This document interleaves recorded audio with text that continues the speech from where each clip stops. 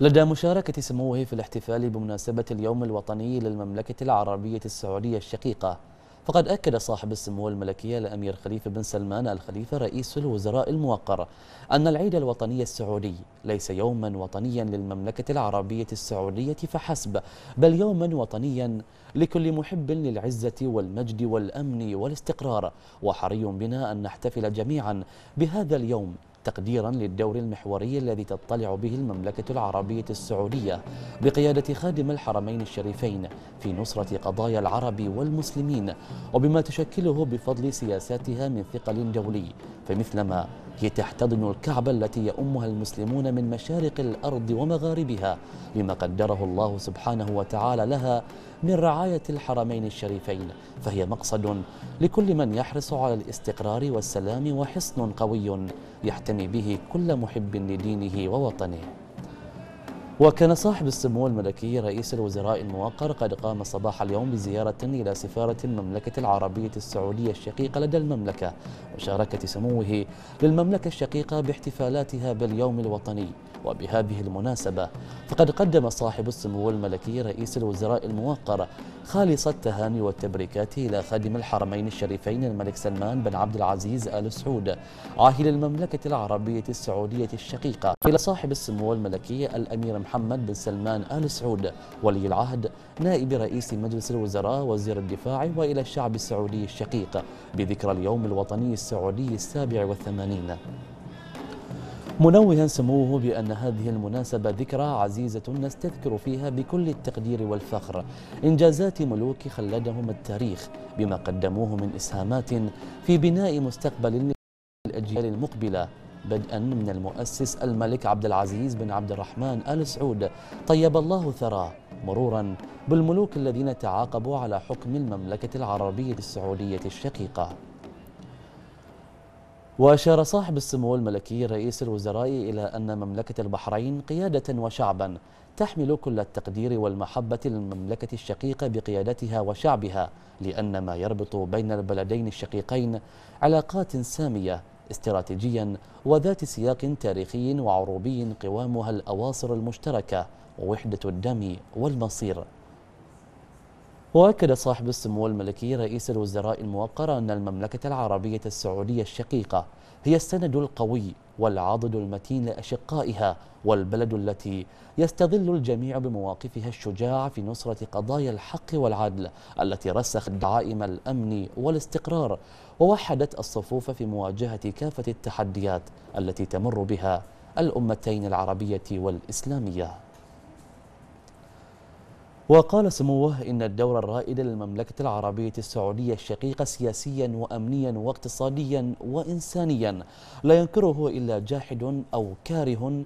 لا يمكن لأحد أن ينكره فهي السد المنيع الذي حفظ للأمة أمنها واستقرارها رغم وطأة التقلبات والتحديات وستظل كذلك بمشيئة الله تحت قيادة حكامها من آل سعود الكرام. وقال سموه إن مشاركة الأشقاء في المملكة العربية السعودية احتفالهم بالعيد الوطني واجب فهو احتفاء بمناسبة غالية علينا جميعا فنحن وطن وشعب واحد وأفراحهم أفراحنا وهم لنا ونحن لهم كالجسد الواحد والبنيان المرصوص ونبتهل إلى الله تعالى أن يديم علينا محبتنا وأخوتنا أبد الدهر لتبقى شاهدا على أسمى معاني الأخوة الصادقة التي تجمع الشعبين ويجسدها جيلا بعد جيل. من جهته رفع الدكتور عبد الله بن عبد الملك آل الشيخ سفير المملكة العربية السعودية لدى مملكة البحرين أسماء آيات الشكر والعرفان إلى صاحب السمو الملكي رئيس الوزراء على زيارة سموه للسفارة بمناسبة الاحتفال باليوم الوطني السعودي التي تجسد ما يكنه سموه من مشاعر وتقدير للمملكة العربية السعودية قيادة وشعبا وهذا غير مستغرب على سموه. فهو الحريص دوما على إعلاء نخب العلاقات البحرينية السعودية ودعم كل ما يسندها نحو مزيد من التطوير. وأشاد السفير بما يوليه صاحب السمو الملكي رئيس الوزراء من اهتمام لتطوير العلاقات البحرينية السعودية وتنميتها وهو دور محل اعتزاز للقيادة ولشعب المملكة العربية السعودية.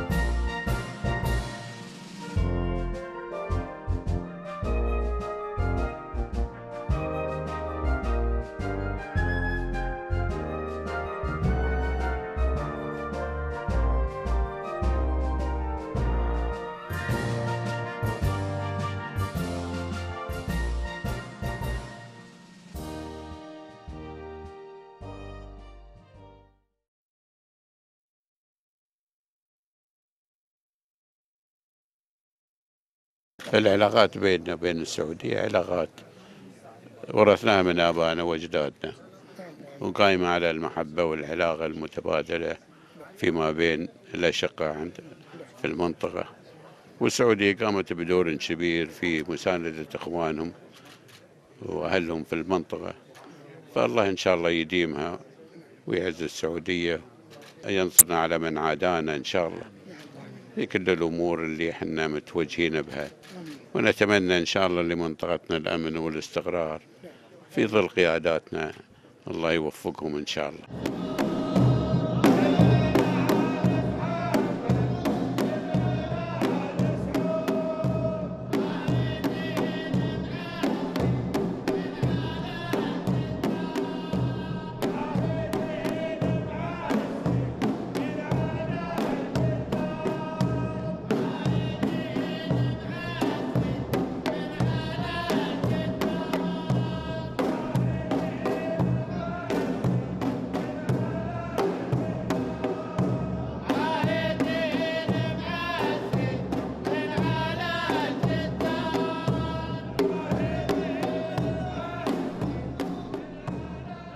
أود أن أشير بالعلاقة العميقة والراسخة والتاريخية بين مملكة البحرين وبين المملكة العربية السعودية والتي أرسى داعمها آه، جلالة الملك محمد بن عيسى الخليفة مملك مملكة البحرين وخادم الحرمين الشريفين الملك سلمان بن عبد العزيز حفظهم الله.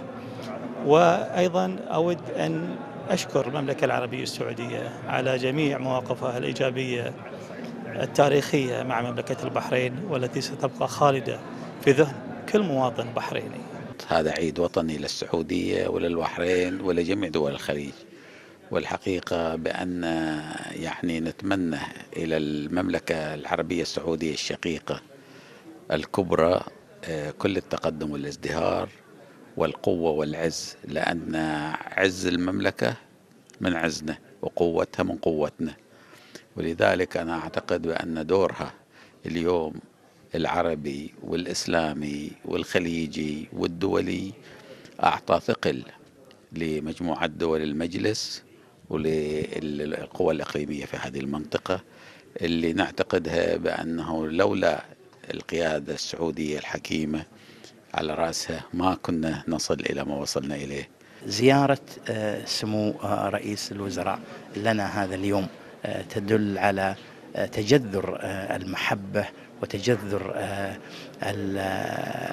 العلاقة الوطيدة الراسخة القوية بين مملكة البحرين العزيزة والمملكة العربية السعودية. أسأل الله سبحانه وتعالى أن يديمها علينا دائما وأبدا. أولا التعاون على الصعيد التعليمي هو تجسيد للعلاقات الأخوية المتميزة التي تربط البلدين الشقيقين في كافة المجالات والتعليم أحد هذه المجالات المهمة التي ترسخ أيضا العلاقات.